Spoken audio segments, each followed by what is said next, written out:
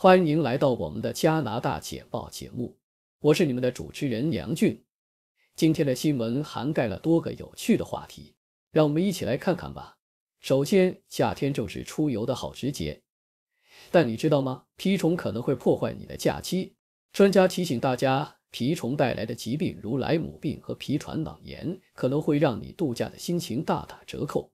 做好预防措施和及时就医是关键哦。接下来，我们来讨论一个敏感话题：职场中的女性在进行生育治疗时，该不该告诉老板呢？根据研究，多数女性在告知雇主后，经历了正面的反馈，这让他们在工作和治疗之间找到了平衡。最后，我们带大家来到佛罗里达大沼泽地，这里不仅是自然爱好者的天堂，还是骑行者的梦幻之地。无尽的草原和丰富的野生动物，让这段旅程充满了惊喜和挑战。请大家继续收看详细内容。Telegraph 报道：夏日的美景和自然的宁静是完美的假期背景，但蜱虫可能会破坏这一切。蜱虫不是昆虫，它们像蜘蛛一样有四对腿，没有翅膀或触角，是强制性寄生虫。全球有数百种这种吸血生物，它们会传播疾病，包括莱姆病和皮传脑炎。莱姆病由蜱虫唾液腺中的细菌引起。最早在1975年，康涅狄格州的莱姆镇被描述。莱姆病的特质是扩大的红色环状皮疹，伴随头痛、卡丹尼克瓦塞蒂不洗头、卧刺、发烧和不适。治疗方法是使用抗生素。虽然目前没有疫苗，但新的疫苗临床试验已进入后期阶段。皮传脑炎是一种严重的病毒性疾病，症状包括流感样症状、发烧、头痛和心脏、胰腺、脑和脊髓的炎症。高风险地区包括奥地利、德国、瑞士、瑞典等。预防蜱虫叮咬的方法包括避免高草丛和植被，穿长袖衣物和使用驱虫剂。如果被蜱虫叮咬，应立即用镊子移除并消毒伤口。The Globe and Mail 的文章探讨了在职场中是否应该告知上司关于生育治疗的问题。许多女性在接受生育治疗时面临是否告知上司的困境。研究显示，是许多女性最终选择告知上司，因为她们需要支持和灵活的时间安排。大多数女性在告知后感到压力减轻，并且获得了积极的影响。对于新工作，建议先分享与工作相关的信息，随着时间推移，再逐渐透露更多细节。告知时应重申对工作的承诺，并说明如何平衡治疗和工作。如果感觉没有得到支持，可以与人力资源部门沟通，了解公司政策。如果新工作无法提供所需支持，可能需要重新考虑这份工作的适合性。The Globe and Mail 还介绍了四款适合窖藏的葡萄酒，包括来自托斯卡纳海岸的两款出色酒款。Ornelia 是意大利著名的葡萄酒之一，其2021年份被称为 La Generosa 慷慨。这款酒具有纯粹的享乐主义和优雅的托斯卡纳风格。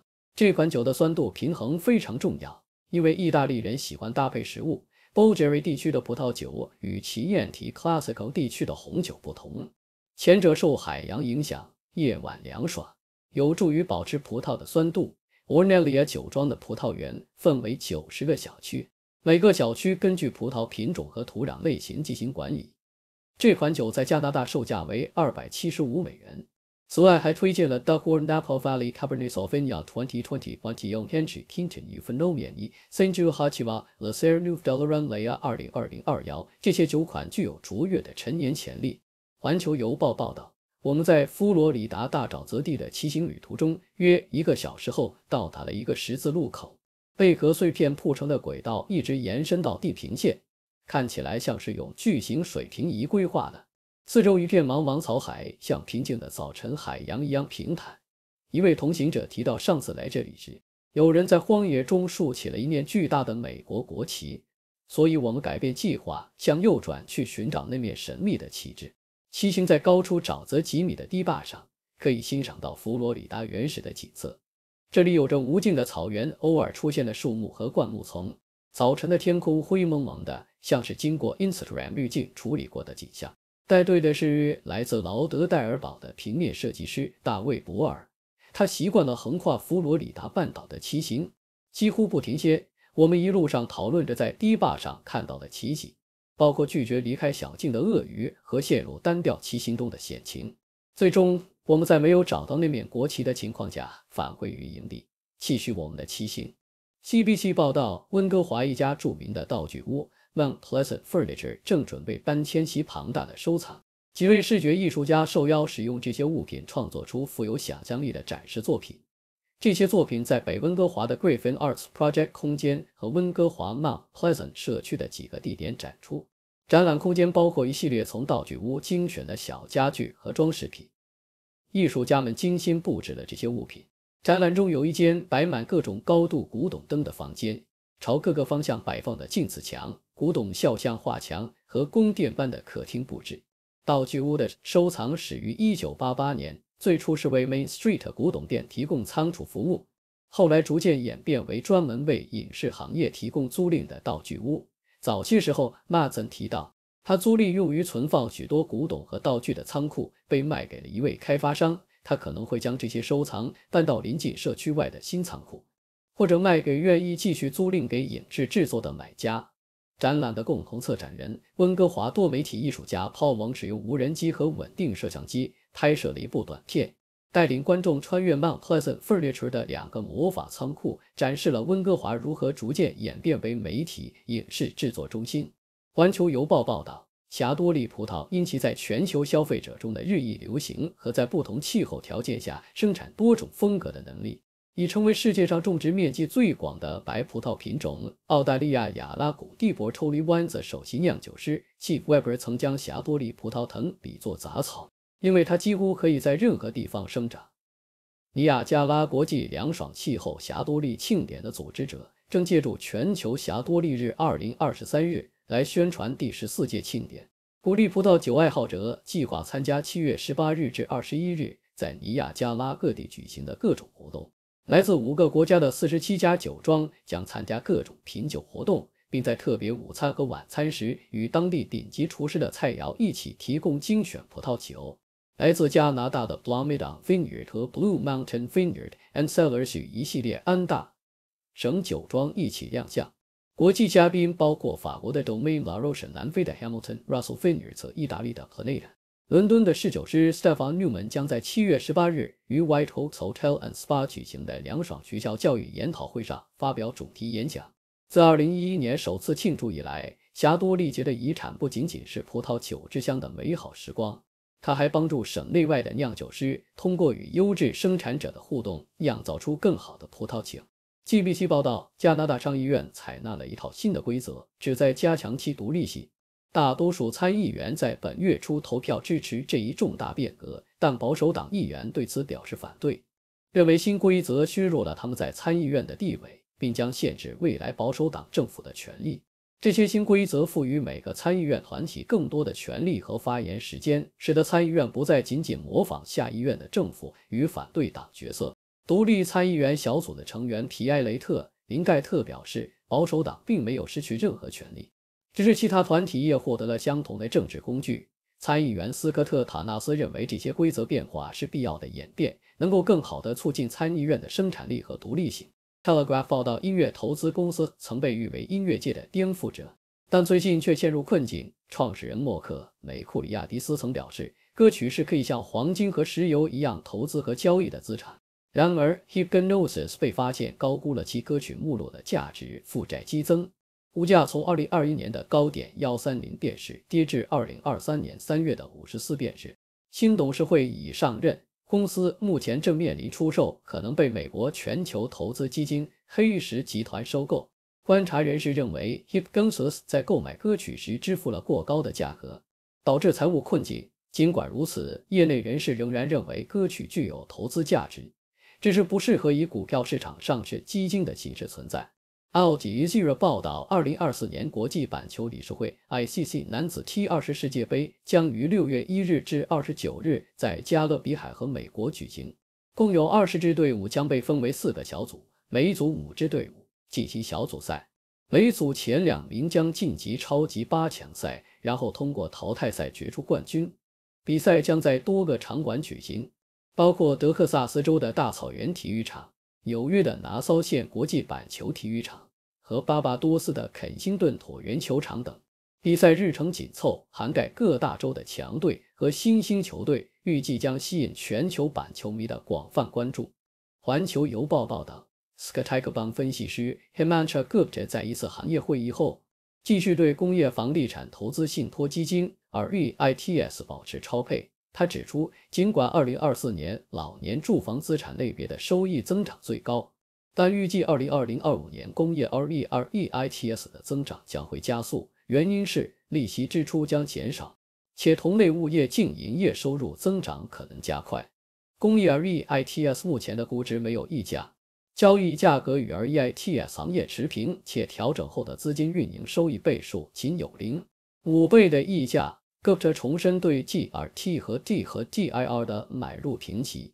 与此同时，RBC 全球股票团队更新了其加拿大小盘股信息名单。尽管第二季度整体回报率为负二，但分析师们对未来股价催化剂持乐观态度，推荐了一系列非资源和资源类股票，如 iGrowth International and Technologies 和 Torex Gold Resources 等。多伦多星报报道，蒙特利尔警方表示。周二晚上，在该市的高原蒙特利尔区一条小巷发生斗殴事件，导致包括一名十五岁男孩在内的三人死亡。警方在晚上七点左右接到报警，赶到现场时发现三人被锐器伤害，随后被送往医院，但最终不治身亡。这三起死亡案件是蒙特利尔2024年的第十四、十五和十六起凶杀案。警方尚未逮捕任何嫌疑人，正在通过监控录像和寻找目击者进行调查。警方发言人 Jean-Pierre Grabban 表示，这起事件让社区感到震惊，警方将尽全力找出凶手。环球邮报报道，日本乐天集团与易贝合作测试美国市场对日本二手时尚商品的需求，尤其是在日元接近三四年低点的情况下，这些商品变得更加便宜。合作于五月八日开始，乐天的二手商品单位 Recom 上有七个供应商参与，易贝负责在其网站上列出这些商品。并由乐天合同的供应商负责美国的运输和客户服务。Recoma 总经理 Kenny Charo Hasegawa 表示，由于日本用户对奢侈品的精心保养，这些二手商品状态良好，这也赋予了日本二手一定的价值。此次合作正值日本投资和旅游热潮，部分原因是日元贬值使得日本商品相对便宜便宜。Hasegawa 表示，如果试验成功，目标是将所有 Recoma 商店和用户与易贝连接起来。eBay 表示，二手和翻新商品占其商品总量的约百分之四十。全球节俭服装、鞋类和配饰的销售在二零二四年三月同比增长了五倍。eBay 计划在美国之后将 Racuma 的商品扩展到加拿大、澳大利亚、英国和德国等市场。多伦多星报报道，自今年二月以来，国际刑警组织表示，每周都有超过二百辆被盗的加拿大车辆在全球各地被发现。由于加拿大皇家骑警决定将加拿大的被盗车辆数据库与国际刑警组织的数据库整合，这一举措使得总共超过一千五百辆被盗车辆被识别出来。国际刑警组织的数据库收集了来自一百三十七个国家的信息。数据显示，今年以来，加拿大在被盗车辆数量上位居世界前十。加拿大丰富的易息费和跨界车车型吸引了盗贼。这些车辆通常被运往中东和西非国家，在那里被交易或转售。国际刑警组织秘书长尤尔根斯托克在新闻稿中表示，被盗车辆是跨国有组织犯罪集团的重要收入来源。这些车辆不仅用于贩毒，还作为支付给其他犯罪网络的手段。环球邮报报道，温尼伯一名男子承认杀害四名原住民女性的案件正在审理中，检方今天将结束他们的证据陈述。法庭预计将听取杰里米斯基比基寄给一名囚犯的信件内容。这些信件涉及他所面临的指控。斯基比基对2022年杀害瑞贝卡·康托伊斯、摩根·哈里斯、马塞德斯·米兰和一名身份不明的女囚称她为“水牛女人”的一级谋杀指控表示不认罪。他的律师表示，斯基比基确实杀害了这些女性，但因被判定因精神疾病而不负刑事责任。检方则认为这些杀戮是出于种族动机。司机比基在无家可归者收容所中猎取了这些脆弱的受害者。司机笔记的律师表示，稍后将有一位专家出庭作证，说明司机比基在杀人时的精神状态。独立报报道，明尼苏达州瀑布事件的搜救工作因暴雨而受阻，已有五天未找到失踪的两名独木舟花手。四人在边界水域荒野的荒野的 Curtain Falls 瀑布上被冲下三十英尺，坠入下方的铁湖。两人被救出后送往医院，但四十一岁的杰西·梅尔文·豪根和四十岁的雷斯·梅尔文·格拉姆斯仍然失踪。救援工作因恶劣天气和湍急水流而变得异常困难。圣路易斯县救援队表示，他们的努力因天气恶化而大大减少，预计瀑布的水量会加倍。河流盆地的水位将上升十一到二十三英寸。救援人员在现场扎营，等待天气好转，以继续搜索。计划使用遥控操作的水下设备进行声呐和高分辨率摄像头搜索。失踪的两人是熟悉该地区的钓鱼者。事故发生时，其中一人遇险，另一人试图救援，结果双双被冲下瀑布。谢谢您的收看。视力播报的内容是六团队，由是六团队推荐的全球专业媒体、智库、政府机构和行业专家的最新报道、分析简报。更详细的内容，请大家去这些媒体、智库的网站阅读。这些内容并不一定反映六度简报的立场，亦不能作为任何决策的建议。六度团队由专业媒体人、学者、科学家组成的独立新型媒体。大家可以根据自己的专业要求订阅各种简报，网址是 sixw4。考明在世界任何地方都可以通过电邮收到六度简报。